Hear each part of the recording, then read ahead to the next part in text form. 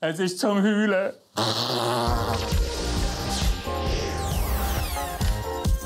Haben es angeschaut, die Beerdigung der Queen heute. Rund 4 Milliarden Menschen haben weltweit zugeschaltet. Also so viel wie bei Benissimo und Meteor zusammen. Wir haben endlich wieder mal so eine richtig fette Tour für. Prinz Philipp, der mitten in der Pandemie gestorben ist, der ist ja leider eher im kleinen Rahmen beerdigt worden. Und bei der Verabschiedung vom letzten Premierminister ist einfach niemand so richtig traurig gewesen. Deswegen haben wir jetzt alles rauslassen, festliche Tour im Königreich. Sogar der royale Town Cry hat einmal so richtig cried.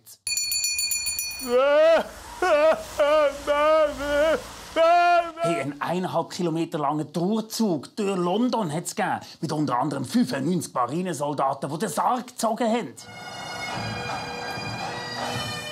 Typisch Militär, gehen etwa gerne eins ziehen. Außerdem alle wichtigen Staatschefs innen sind an der Abdankung.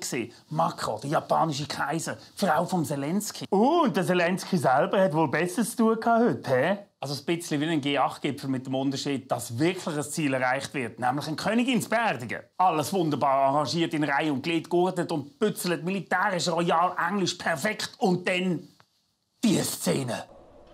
To remember her long life. Ich kann gar nicht mehr richtig trauern. Der Zettel im Bild triggert mich total. Dort sieht man ihn. Her. Oh, kann bitte jemand den Zettel wegnehmen? Überraschend auch eingeladen worden. Prince Andrew, Guckenmusik Eulenschnetzler aus Mörschwil. Und der James Bond-Bösewicht aus Fireball.